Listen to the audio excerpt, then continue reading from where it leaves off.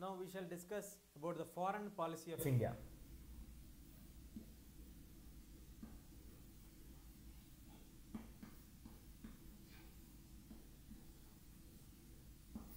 What is a foreign policy? Any nation, let it be put name as A. A nation to have relation with a nation with B or any nation having relation with the other nations is called foreign policy. The nation may be positive or negative.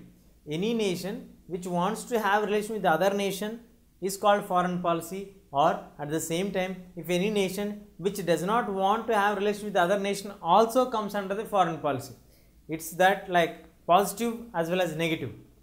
A nation put it like this way A wants to have relation with B is also a foreign policy and also a nation which does not want to have relation with B or with another nation also is a form of foreign policy which means that like for example India likes to have relation with Sri Lanka, Nepal, China, Bhutan or some other nations. It comes under positive side.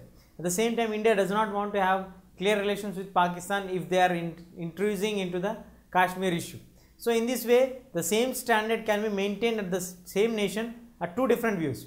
That is why foreign policy is very important and very crucial. And by the time India became independent, Indians are in a situation that where India has to choose between the two great superpowers. I think you all know the two superpowers. One is USA representing the democratic bloc.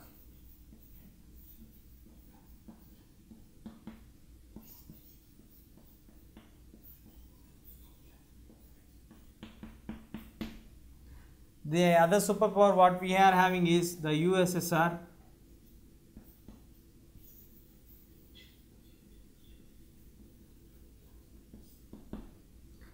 Now, these are the two superpowers which have emerged after India, I mean like after the World War II, after 1945, the entire world scenario has changed. We got USA and USSR, the two different ideologies representing with the two powerful national armies present for them. Later on, they moved on to turn into two superpower nations. Now, USA is a bloc which is having a support of nearly 30 nations and they are truly democratic countries or capitalistic countries whereas USSR, the Union Soviet of Socialist Republic, is a communist country which is having a backup of nearly 19 nations around it and so this is another group. So we have a group A headed by USSR, sorry USA and group B headed by USSR. Now India is in a situation like which country has emerged recently into an independent nation after 1947 have a choice to join either USA or USSR. It should take either the stand towards capitalistic and democratic setup or towards the communistic. By the time we took the democratic setup, it is clear that we are going to join towards USA.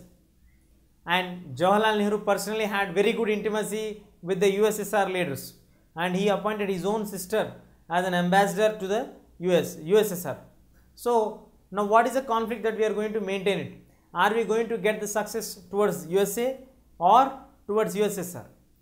The clear ideology was made by our leader Mr. Jawaharlal Nehru and he made it very clear that he is not going to join in any of the blocks. And he started the movement called non-aligned movement. Not to align either towards the USA or towards the USSR.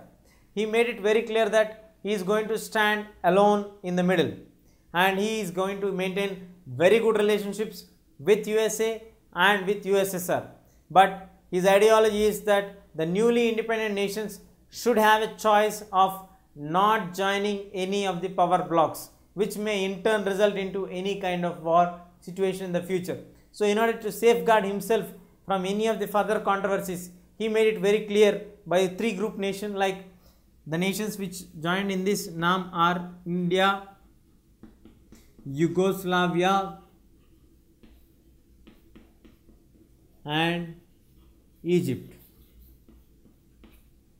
From India we have Jawaharlal Nehru, from Egypt we have Gamal Abdel Nasser and Joseph Brizo Tito of Yugoslavia. These three main leaders signed the charter in 1954-55 mentioning that the non-aligned movement is going to take part. Initially, he has to get the criticism from both the two superpower blocks and the other nation groups, but later they understood the real interest of the NAM policy and later they appreciated. Today, India is a leader of the NAM group of 77 countries, which is the largest group owned by the Indian leadership. Now, moving on to the facts of because of the Indian foreign policy, did we go into any kind of wars? Are the wars being successful for us or being failure for us? What were the consequences? When did we get real actual situations of war? What are the conditions which led us to go for war? We'll discuss all these things. Now moving on to the wars.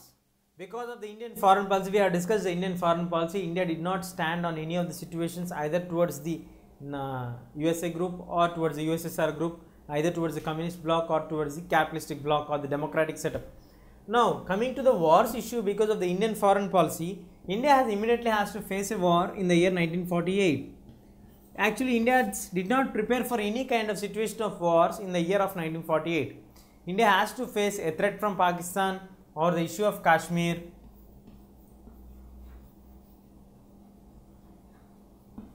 In 1948. So, initially we had a war in 1948. Again, we had another war in the year 1962 with China. This was a war which was a very huge war and the issue turned it into very seriously because we could not prepare any self, we were not developed so much and we could not attain anything much successfully and we have heavy loss and heavy casualties were found in the 1962 war. This was another black spot on the Indian context of wars. And again we have another war in 1965 The other war again with Pakistan on the issue of Kashmir. In this way, the wars were with three, four wars we have again in 1971 we have another war again with the Pakistan and with the formation of Bangladesh. We got the breakup of Pakistan and East Pakistan and West Pakistan. In this way, we got the different kinds of wars, and because of these wars, the development of India was blocked, and we could not reach to the success of the development. And lot of money or huge investment of the money was done in the arms and that was wasted in such a kind where we can't get any rupee back repaid for us. In this way, wars were not a true success for any country, but they are a failure and it's not bringing any solution. Only through negotiations we can get a solution for our requirement of the problem. So, wars were done between India and Pakistan, India and China and on the issue of Kashmir, even today we may get a war. There are serious issues of getting a war only and only on the issue of Kashmir. Who succeeded Jawaharlal Nehru? We'll discuss now.